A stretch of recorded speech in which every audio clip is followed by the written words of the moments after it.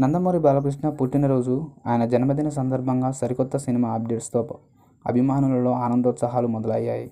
Corona నేపథ్యంలో తన బర్త్డేను పురస్కరించుకుని ఎవరు కలవడానికి రావద్దని ముందుగానే అభిమానులను రిక్వెస్ట్ చేసిన బాలయ్య తన బర్త్డేను చాలా సింపుల్గా సెలబ్రేట్ చేసుకున్నట్టు ఇదివరకే తెలిపారు. బాలయ్య ఆయన పుట్టినరోజు వేడుకలలో భాగంగా నిన్న అఖండ సినిమా పోస్టర్ విడుదల చేసిన విషయం తెలిసిందే. అయితే తాజాగా కొద్దిసేపటి క్రితం గోపీచంద్ మల్లేని సినిమా అఫీషియల్ ప్రకటన చేశారు. అతి త్వరలో షూటింగ్ మొదలు కానుందట. విడుదల చేసిన వీడియో ఫ్యాన్స్ని అలరిస్తుంది. తాజాగా క్రాక్ సినిమా ఇటుతో మంచి ఊపు మీద ఉన్న గోపీచంద్ మల్లేని ఇక బాలయ్యతో కలిసి మరో బ్లాక్ బాస్టర్ కోసం ప్లాన్ చేశాడు. ఈ నేపథ్యంలో గోపి బాలయ్యను రెండు విభిన్న పాత్రలలో డ్యూయల్ రోలలో పవర్ఫుల్ పోలీస్ ఆఫీసర్గా మరియు ఫ్యాక్షనిస్ట్గా చూపించబోతున్నట్లు సమాచారం. మైత్రి మూవీ మేకర్స్ ఈ సినిమాను భారీ ఎత్తున తెరకెక్కించనున్నది.